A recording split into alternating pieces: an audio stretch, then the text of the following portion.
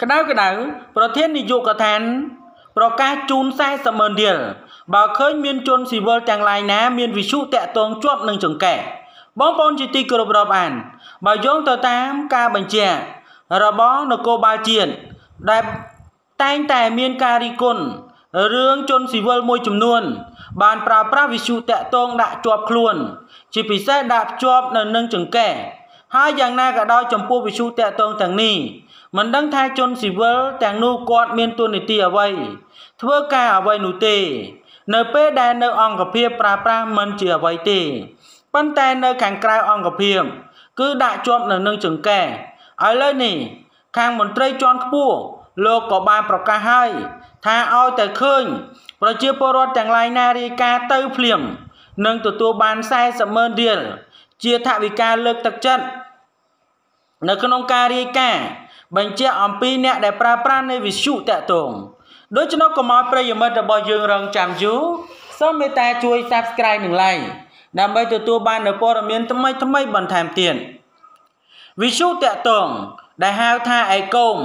នៅក្នុងថ្ងៃទី4ខែឧសភាឆ្នាំ2022នេះតាមរយៈគណៈនៃឧត្តមសនីតូឈឿនប៊ុនចនប្រធាននាយកដ្ឋានវិសុតតងនៃអគ្គ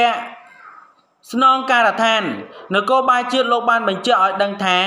បើបងប្អូនណាឃើញមានជនស៊ីវិលប្រើប្រាស់វិសុតតងកាលណានគរបាលជាតិហើយរាយការណ៍រហូតដល់ខាត់ជននោះបាន មួយករណីនឹងផ្ដល់ឲ្យ40ម៉ឺនរៀលតែម្ដងគួរឲ្យដឹងផងដែរថា នៅពេលថ្មីថ្មីនេះកម្លាំងចម្រុះដឹកនាំដោយតំណាងអាយកា នាយត្តកទូរគមនាគមន៍កម្ពុជានគរបាលជាតិនឹងបានសម្រេចគោលដៅប្រកបដោយផ្លែផ្កាដោយស្ថានីយវិសុតកតងខុសច្បាប់ជាច្រើនបានស្ម័គ្រចិត្តរូរើដោយខ្លួនឯងនិងតិចតួចចាប់បង្ខំរូរើទម្លាក់ចុះនៅការប្រើប្រាស់វិសុតកតងនៅក្នុងនោះផងដែរម៉ាស៊ីនផ្សាយប្រមាណជា200គ្រឿងដែលត្រូវបាន ផ្ដល់ឲ្យវិសុតកតងកាន់នៅនឹងដៃនឹងប្រើប្រាស់បែបអនាធិបតេយ្យប្រមាណជា5000គ្រឿង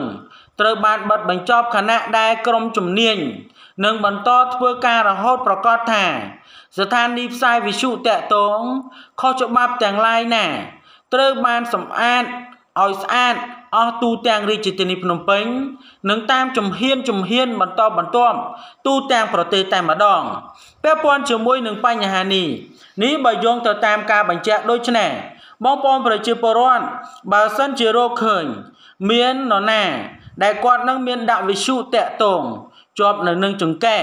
បងប្អូននឹងអាចរាយការណ៍ទៅតាមអគ្គនាយកដ្ឋានដែលខ្ញុំបាទបានជម្រាបជូនដូច្នោះព័ត៌មាននេះមានប៉ុណ្ណឹង ដើម្បីទទួលបាននូវព័ត៌មានថ្មីៗបន្ថែមទៀតសូម Subscribe និង Like